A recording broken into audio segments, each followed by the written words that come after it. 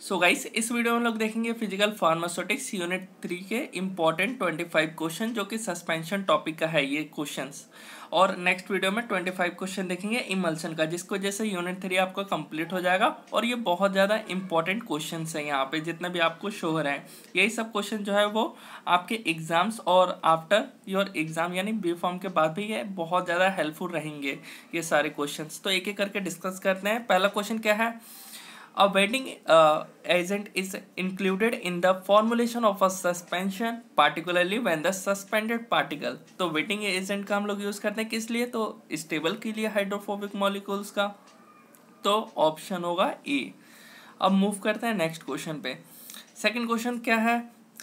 For a flocculated suspension one of the following criteria is satisfied और established तो जो flocculated suspension है, इसमें हमने गैस देख रखा है, जो सेडिमेंटेशन रेट होता है सेडिमेंटेशन रेट जो होता है, वो क्या होता है? एकदम हाई होता है, जिससे जो पार्टिकल जो है वो नीचे आते हैं बिकॉज़ एट्रैक्शन कम होता है उनके बीच, और ये नीचे आ जाते हैं। तो इसमें गैस क्या होगा? ऑप्शन तो वीक इंटर पार्टिकल एट्रैक्शन तो यहाँ पे कौन सा होगा? सी वाला ऑप्शन होगा। तो मूव करते हैं नेक्स्ट क्वेश्चन की ओर। यहाँ पे क्या है? In Stokes relationship parameter that greatly changes the velocity of settling is तो जो वेलोसिटी ऑफ़ सेटलिंग की अगर हम लोग बात करें यहाँ पे गई ध्यान से देखना क्वेश्चन आप क्वेश्चन को अगर ध्यान से पढ़ के समझ गए तो आपको आंसर इजिली मिल जाएगा। पूछा है वेलोसिटी ऑफ़ सेटलिंग जो होता है वो पार्टिकल जिस स्पीड से सेटल डाउन हो रहे हैं, इसी को तो हम कहते हैं वेलोसिटी ऑफ़ सेटलिंग यानी जितना ज़्यादा रेडियस होगा, जितना ज़्यादा इंक्रीज होगा रेडियस उतना ही वेलोसिटी ऑफ़ सेटलिंग इंक्रीज होगा। तो ऑप्शन कौन सा होगा? ऑप्शन होगा C radius of the particle I hope आपको गाइस समझ आ रहा होगा और वीडियो भी अच्छा लग रहा होगा। मूव करते हैं नेक्स्ट क्वेश्चन पे। नेक्स्ट क्वेश्चन है the protamine zinc insulin suspension is prepared by a method तो यहाँ पे कौन सा मेथड होगा? तो यहाँ पे ए होगा एल्टर पीएच प्रेसिपिटेशन तो गाइस वीडियो के दौरान भी हमने कुछ ऐसे क्वेश्चन बीच बीच में आ जाते हैं, जो हमने कवर अप नहीं कर रखा हो तो इसको आप नोट डाउन कर सकते हो साइड में।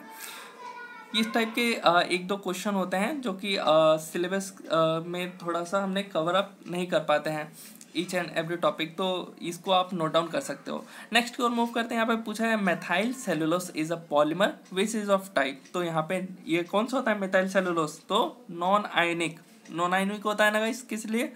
बिकॉज़ इसमें जो पॉजिटिव और नेगेटिव आयन प्रेजेंट नहीं होते हैं तो इसका हम लोग यूज़ भी करते हैं इसकी प्रॉपर्टी की वजह से।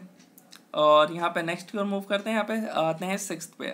For a flocculated suspension the degree of flocculation is observe to be one the sedimentation volume is also one this value respectively indicates the limit तो इसका आंसर क्या होगा गाइस तो फ्लॉकुलेटेड सस्पेंशन में जो फ्लॉकुलेटेड वैल्यू है, वो one है। जो कि एवरेज वैल्यू से कम है। अब कम है तो यहाँ पे कौन सा होगा? यहाँ पे लोअर एंड अपर या lower and lower lower and upper यानी इसका ऑप्शन होगा बी अब नेक्स्ट की मूव करते हैं four and ideal suspension the sedimentation volume should भी क्या होना चाहिए? आइडियल सस्पेंशन तो यहाँ पे गाइस जो होना चाहिए वो इक्वल टू वन अब क्यों होना चाहिए? वो रीज़न आपको बता देता हूँ। सबसे पहले तो आ, हमें आइडियल सस्पेंशन के बारे में आई होप आपको आइडिया होगा। समटाइम्स गाइज़ आपको जो यहाँ पे पढ़ रहे हो ऑप्शंस समटाइम्स ऑप्शन को भी क्वेश्चन में पुटअप करके और क्वेश्चन को आंसर में पुटअप करके दे दिया जाता है। इस वजह से जहाँ भी आप प्रैक्टिस करते हो, यहाँ पे प्रैक्टिस करते हो तो ध्यान से आपको ऑप्शन भी माइंड में रखना है नेक्स्ट टाइम से कि ये कभी क्वेश्चन में ना आ जाए। आइडियल सस्पेंशन में जो पार्टिकल होते हैं वो डिस्पर्स फेस्ड के यूनिफॉर्मली डिस्ट्रीब्यूटेड होते हैं डिस्पर्स मीडियम के अंदर। तो यहाँ पे इक्वल टू वन होगा। अब नेक्स्ट की ओर मूव करते हैं। पूछा है नेक्स्ट क्वेश्चन है। In case of suspension all statement below are true except that यानी सारे स्टेटमेंट सही है। सिर्फ़ एक को छोड़ के इनमें से अब वो कौन सा है? देखते हैं। Uh, पूछा है केस ऑफ़ सस्पेंशन के बारे में। इट कैन सस्पेंडिंग एजेंट हाँ करता है। It does not include a preservative preservative नहीं होता? क्यों नहीं होता? प्रिजर्वेटिव ही तो हेल्प करता है। स्टॉप करने के लिए जो माइक्रोबियल ग्रोथ होता है तो यहीं पे मिल गया हमें गलत आंसर अब नेक्स्ट की ओर मूव करते हैं। यहाँ पे पूछा है in in practice and acceptable suspensor should have particle तो इसका गैस कौन सा होगा answer A B C D तो इसका आंसर कौन सा होगा?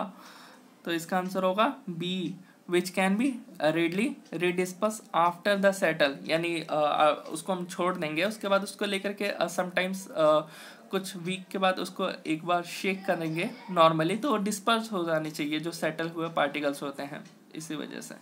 अब यहाँ पे नेक्स्ट वन मूव करते हैं। यहाँ पे पूछा है for oral administration of a suspension to a patient which one of the following factor is the most important तो यहाँ पे उसको भाई कलर दिखने में अच्छा होना चाहिए टेस्ट लेने में अच्छा होना चाहिए, बस और क्या चाहिए, बस।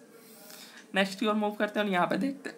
यहाँ पे पूछा है इलेवेंथ में which one of the following properties is applicable to suspension तो रैपिड रेट ऑफ़ सेडिमेंटेशन तो ये क्वेश्चन कुछ इजी थे तो यहाँ पे अब नेक्स्ट को मूव करते हैं। और यहाँ पे गैस इस टाइप के क्वेश्चन बहुत आते हैं तो गैस ध्यान से यहाँ पे देखिए। Suspension particle become flocculated in a suspension because तो इसका आंसर क्या होना चाहिए? Attractive forces between particle are applicable ये होना चाहिए। क्यों होना चाहिए? जो पार्टिकल के बीच में ज़्यादा अट्रैक्टिव फोर्स होता है इस वजह से। नेक्स्ट की ओर मूव करते हैं। Structure of vehicle is included in the formulation of a in order to तो इसका ऑप्शन क्या होना चाहिए? Prevent the sedimentation of particle जो स्ट्रक्चर व्हीकल होता है। इसको हम लोग यूज़ करते हैं। इस, ये क्या करता है? स्टॉप पार्टिकल सेडिमेंटेशन जो हमारा स्ट्रक्चर व्हीकल होता है। और इसको हम लोग इसकी जो स्ट्रक्चर व्हीकल है, इसका विस्कोसिटी हम लोग ज़्यादा रखते हैं। ये भी आपको गैस ध्यान में रखना चाहिए। अब यहाँ पे नेक्स्ट ओर मूव करते हैं। पूछा है in the preparation of a structure vehicle which one of the following substance is use तो इसका होना चाहिए क्या? A B C D guys एक बार जल्दी से बताओ। ये मैंने आपको थोड़ी देर पहले भी इसका आंसर बताया था। तो इसका जो करेक्ट ऑप्शन होगा वो है मिथाइल सेल्यूलोस बिकॉज़ ये नॉन आयनिक होता है, इसके पास पॉजिटिव नेगेटिव आयंस नहीं होते और ये बॉन्ड फॉर्म नहीं कर सकता है वाटर के साथ, इस वजह से। अब नेक्स्ट और मूव करते हैं, जो कि फिफ्टींथ है। फिफ्टींथ में क्या है which type of colloidal material is use commonly in the preparation of structure vehicle simple सा आंसर है हाइड्रोफिलिक नेक्स्ट और मूव करते हैं when charcoal powder is dusted on the surface of water the contact angle indicate that the charcoal exhibit is zero one ninety one eighty guys कौन सा होगा इनमें से? एक बार वीडियो को पॉज करके और कमेंट बॉक्स में आप हमें इसका आंसर बता सकते हो। तो इसका आंसर जो होगा, वो होगा वन एटी जो सॉलिड और लिक्विड के बीच में होता है एंगल वही तो होता है कॉन्टैक्ट एंगल अब नेक्स्ट की ओर मूव करते हैं। यहाँ पे पूछा है सेवनटीन में maximum sedimentation volume will be obtain when zeta potential is तो इसका क्या होगा गाइस इसका होगा ज़ीरो जो जीटा पोटेंशियल होता है, वो क्या होता है? पोटेंशियल डिफरेंस होता है टू लेयर्स के बीच में। तो आई होप आपको मालूम होगा। यहाँ पे मूव करते हैं नेक्स्ट पे। A substance is dissolve in water the suspension has exhibit a negative apparent zeta potential identify the rate of substance तो गाइस इसका क्या होगा? इसका आंसर होगा सल्फ़र गनाइडिन नेक्स्ट और मूव करते हैं, जो कि है nineteen calcium hydrogen phosphate is dissolve in water the apparent zeta potential is तो नाइनटीन का क्या होगा गाइस नाइनटीन का होगा negative due to more attractive force as compare to repulsive force I hope आपको गाइस मालूम होगा ये वाला भी। अब यहाँ पे देख लेते हैं, एक क्वेश्चन है। Which one of this preparation is not qualified as a suspension तो इसका क्या होगा? इसका होना चाहिए ए नहीं। इसका होना चाहिए D vitamin B complex tonic as nutritional supplement twenty one की ओर मूव करते हैं। देखते हैं इस क्वेश्चन को। यहाँ पे पूछा है the ratio of the ultimate volume of sedimentation to the actual volume of sediment before settling is called ये तो हो गया फॉर्मूला हमारा सेडिमेंटेशन वॉल्यूम का, जिसमें हमने गाइस आई होप आपने वीडियो का दान भी इसको रिमेंबर किया होगा माइंड में sedimentation volume ultimate volume of sediment upon में एक्चुअल वॉल्यूम होता है, जिसमें जो एक्चुअल वॉल्यूम होता है, जो पहले, उसके अंदर जो पहले से जो मॉलिक्यूल्स प्रेजेंट होते हैं बेस पे, और अल्टीमेट वैल्यू क्या होता है? अल्टीमेट वॉल्यूम ऑफ़ सेडिमेंट जो कि बाद में फाइनल में जो मॉलिक्यूल्स बेस पर आते हैं, वो होते हैं। आई होप आपको गाइस ये मालूम होगा। अब यहाँ पे नेक्स्ट और मूव करते हैं, यहाँ पे देख लेते हैं।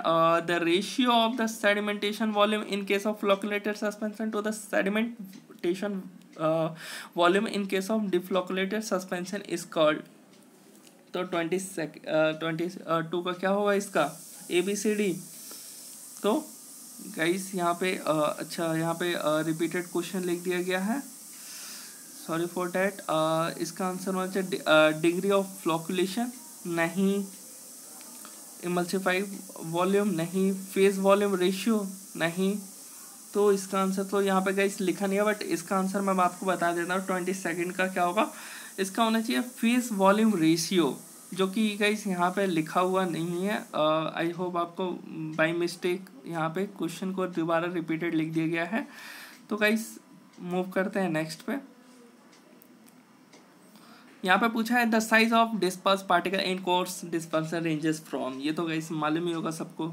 वन से hundred micrometer which of the following are the desired feature of good suspension तो ट्वेंटी फोर्थ का क्या होगा guys the particle which settle down should not deposit at the bottom as hard cake they must be easily redispersed by moderately second yes correct it should be free from grittiness yes it should be stable in case of physical chemical and microbial attack yes तो simple सा answer है all of this ही होगा फिर in flocculated suspension the rate of sedimentation is A B C D तो इसका मोर तो आई hope आपको इस वीडियो अच्छा लगा अगर आपको भी ऐसे क्विज सॉल्व करना है तो डिस्क्रिप्शन में लिंक दिया हुआ है।